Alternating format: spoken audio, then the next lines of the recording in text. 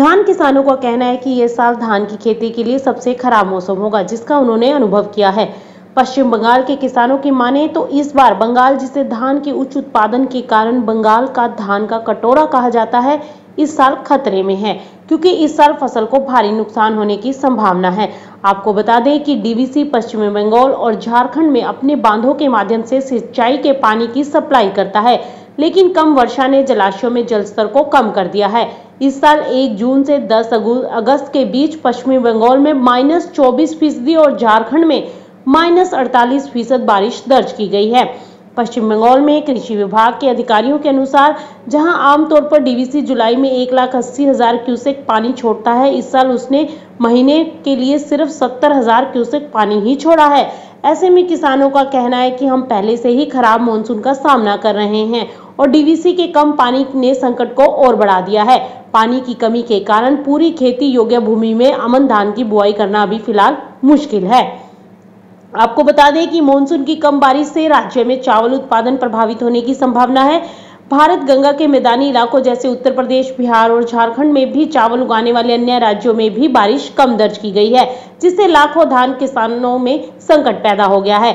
ऐसे में धान के किसान कथित तौर पर फ़सल के बड़े नुकसान को देख रहे हैं और इन स्थानीय फ़सल के नुकसान का वैश्विक प्रभाव भी पड़ता दिखाई दे सकता है, क्योंकि देश में चावल के उत्पादन में गिरावट से वैश्विक खाद्य सप्लाई बाधित होने की संभावना है, क्योंकि भारत चावल का दुनिया, भारत चावल का दुनिया का सबसे बड़ा निर्यातक है। पश्चिमी बंगाल के पूर्वी वर्धमान की यह स्टोरी धान का दर्द श्रृंखला में दूसरी है। पहली खबर उत्तर प्रदेश की थी, जहाँ इस मानसून सीज़न में अब तक माइनस चालीस फ़ीसद बारिश दर्ज की गई थी। किसानों का कहना है कि हमें डीवीसी से पानी मिलता है, जो हमें बुआई में मदद करता है, लेकिन इस साल स्थिति दयनीय है। हमारे पास भूजल पर बहुत अधिक निर्भर रहने के अलावा कोई विकल्प नहीं है, जो सबम सिरबल पंपों के माध्यम से खींचा जाता है और पाइप के नेटवर्क के माध्यम से हमारे खेतों में सप्लाई की जाती है।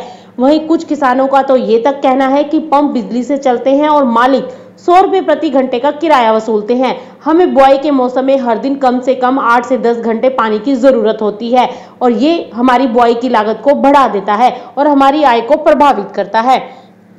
आपको बता दें कि बंगाल में धान लगभग सभी राज्यों में उगाया जाता है। हालाँकि 2018-19 के दौरान देश के कुल चावल उत्पादन में उनके हिस्से के संबंध में प्रमुख चावल उत्पादक राज्य पश्चिमी बंगाल तेरह दशमलव सात नौ फ़ीसदी का ही हिस्सा देता था। लेकिन वहीं सालाना की अगर बात करें तो लगभग पंद्रह दशमलव पाँच सात मिलियन मीट्रिक टन का उत्पादन किया जाता है। संयुक्त राज्य अमेरिका के कृषि विभाग के अनुसार भारत दुनिया में चावल का सबसे बड़ा निर्यातक है और वैश्विक सप्लाई में 40 फ़ीसद का योगदान देता है। भारत में चावल के निर्यात पर मंडरा रहा संकट छह महीने पहले इसी तरह की स्थिति की याद दिलाता है, जब शुरुआती गर्मी ने गेहूँ के उत्पादन को कम कर दिया था, जिससे भारत सरकार को घरेलू मांग को पूरा करने के लिए, निर्यात बंद करने के लिए मजबूर होना पड़ा था। Bureau report, market times T